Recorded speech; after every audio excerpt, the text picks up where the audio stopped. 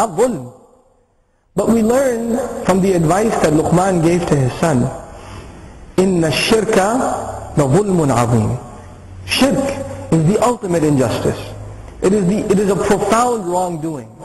So Allah speaks about these people who put their love in the wrong place as people who committed a great wrong and what's going to happen to them when they're looking at the punishment. And then they realize أَنَّ الْقُوَّةَ لِلَّهِ جَمِيعًا That power only belongs with Allah. And Allah mentions His power as an expression of His anger in this ayah. May Allah protect us from His anger. أَنَّ الْقُوَّةَ لِلَّهِ جَمِيعًا وَأَنَّ اللَّهَ شَدِيدُ الْعِقَابِ And that Allah is severe and intense in taking His revenge. Now that this precedent has been established, the first ayah we talked about dealt with intellectually realizing the favors of Allah, using the aql. And then having the love of Allah in your hearts. That was the next ayah. And now we see what Allah Azza wa says. إذ تبرأ الذين اتبعوا من الذين اتبعوا ورأوا العذاب وتقطعت بهم الأسباب. This is a profound gauge, a meter, by which you and I can check if we have the love of Allah or love of something else. And to understand this ayah, I want to give you a little bit of a, an introduction. You know, all of us, human beings generally, we have a need to associate ourselves with someone, some, a group, or a society, or a clique. Even in high school, you have kids that are, you know, gothic or hip-hop or whatever else. Right? They, they, they dress a certain way. They talk a certain way. They associate themselves in certain circles. When you become professionals, maybe your circle of friends is all doctors because you're a doctor. Or they're all accountants because you're an accountant. Or they're all programmers because you're a programmer. Or we have other sorts of affiliations by ethnicity. So you're all, you know, all your friends are Pakistani because you're Pakistani. Or they're Bangladeshi because you're Bangladeshi. Or they're Egyptian because you're Egyptian. We make friends by association of profession, or by common interest, or by race, or by language we have a need to affiliate, to know, get to know one another, and to be you know, organized in these different social circles. And every social circle has its own standards. it has certain expectations. And what ends up happening sometimes, and by the way, the biggest circle we are part of, obviously, is our families. And in every circle, there are certain standards, and sometimes these standards, these expectations, they go against, and they contradict the deen of Allah. So for example, in some families, there's a pressure on you to, you know, buy a house. Because your brother bought a house. Because your cousin also bought a house. Because your, you know, your distant cousin also bought a house. And your uncle also bought a house. But you can't afford a house. And everybody in your family, every time they meet you, what are they telling you? You need to buy a house. Look at your brother. Look at your cousin. Your circle of friends. Among them, there are three or four of them that got into a business. All the pressure is on you now to do what? Get into the same business. They made so much money off of it, why can't you? The question of whether it's halal or haram starts to disappear. That question starts to disappear. The only thing that you keep hearing over and over again, hey, they're doing it too. Look, they did okay too. And they got it done too. And then this happens among Muslim community, in the Muslim community, even in religious families, especially when it comes to our weddings. You know, our weddings, the, the wedding, the nikah, is an act of ibadah. It is a following of the sunnah of the Prophet sallallahu alayhi wa sallam. You make two rakat nafil, that is in sunnah of the Prophet ﷺ. It's an act of ibadah, right? You give sadaqah, it's an act of ibadah. When you do nikah, it is also an act of ibadah. Can you imagine hiring a DJ at an act of ibadah? Or having a party at the act, of whatever, men and women are dancing together? But we do it. Why do we do it though? You will ask the people that do it, they say, I know it's wrong. But you see, if we don't do it, they're not going to come. Or those people are going to say, what kind of wedding was this? It was held at a masjid. What kind of, you know, you people didn't even order 12 different kinds of food. So people will go into debt on their credit cards to hold off a very, very, you know, elaborate wedding just because they want people not to say anything because they're part of a circle and there's a certain standard in that circle and you want to uphold that standard. So we instead of living for ourselves and living really for the sake of Allah Azza wa Jal, we start living for the expectation of others. This starts happening.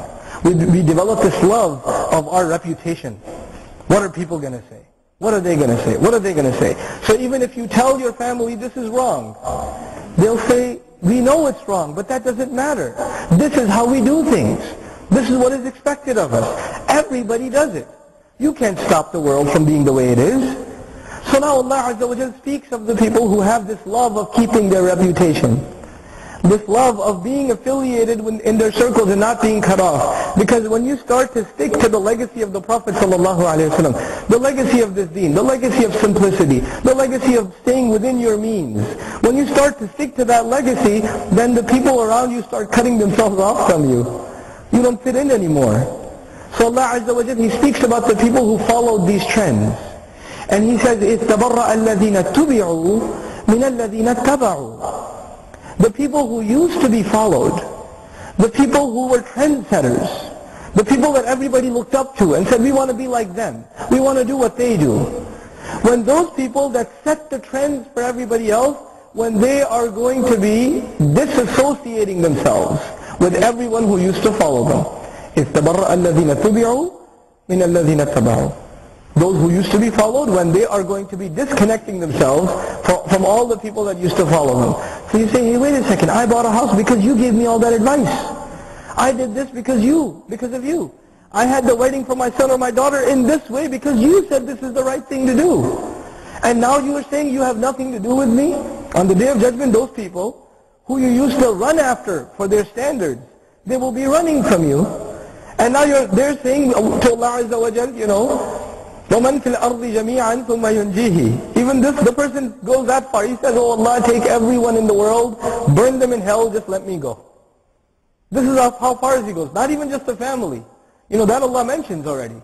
يوم يفر المرء من أخيه وأمه وأبيه وفصيلته التي تؤويه وصاحبته من and then ومن في الأرض جميعا take everyone let me go so he won't care about you and they won't care about you so now Allah Azza wa Jal says, اتَّبَرَّأَ الَّذِينَ اتُّبِعُوا مِنَ الَّذِينَ اتَّبَعُوا وَرَأَهُ الْعَذَابِ And they will all be looking at the punishment. The trendsetters and the followers. The people who caved into peer pressure, to family tradition, whatever it may have been that took them away from obedience to Allah. All of the followers and all of the leaders will be looking at the punishment. وَتَقَطَّعَتْ بِهِمُ الْأَسْبَابِ And back in dunya, these, these ties used to seem like they're made of concrete. We can never break our tradition. We can never steer away from what the family wants. We can never steer away from what the society wants from us. This is the way we are. We're part of this world after all. How many times have you heard that argument? We're living in 2008. We're living in America. These arguments, right? How can you cut yourself off? Allah says, وَتَقَطَّعَتْ بِهِمُ الْأَسْبَابِ Those relationships will be cut. They will be chopped off literally. قُطِعَتْ would have been cut. تَقَطَّعَتْ chopped off. Like they were never together. They were completely set apart, rendered apart. وَقَالَ الَّذِينَ اتَّبَعُوا And then the people who used to follow others blindly. They used to follow those trends, even if they violated Allah's deen. Now they're going to cry out.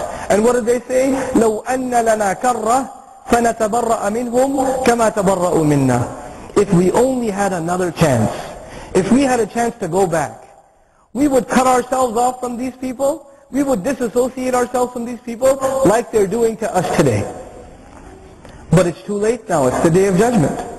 So Allah says, كَذَلِكَ يُرِيهِمُ اللَّهُ أَعْمَالَهُمْ حَسَرَاتٍ عَلَيْهِمْ That is, that is how Allah shows them their deeds, what they used to do.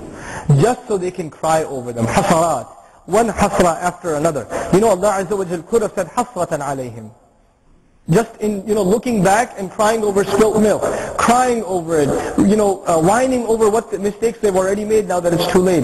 But they will remember one mistake after another, and then another, and then another. I did this wrong, and this wrong, and this wrong. I followed you in this, and this, and this, and this. And this trend setting, you know, in, in, the, in the older generation, in the older brothers and sisters that we have in our community, they have one kind of affiliation. Our youth have another kind of affiliation. You know, our youth are obsessed with certain kinds of music or certain kinds of culture, hip-hop gear or whatever clothing. And they're obsessed with that stuff and they can't cut themselves apart from it. They change the way they talk because of it. They change the way they dress because of it. But then they look back and they say, what mistakes I made. Where was I headed? So now لو أن لنا كرة فنتبرأ منهم كما تبرأوا منا كذلك يريهم الله أعمالهم حسرات عليهم That is how Allah will show them their deeds when it's too late so they can cry over them وما هم بخارجين من النار and they are not going to be ones that come out of the fire may Allah not make us from them but now the point of all of this you see the argument has been constructed so now Allah Azza wa Jal leads to the conclusion the climax of this argument and he tells the believers, يا أيها الذين آمنوا يا أيها الناس rather كلوا مما في الأرض حلالا طيبا O mankind, mankind, consume from what is on the earth that which is halal.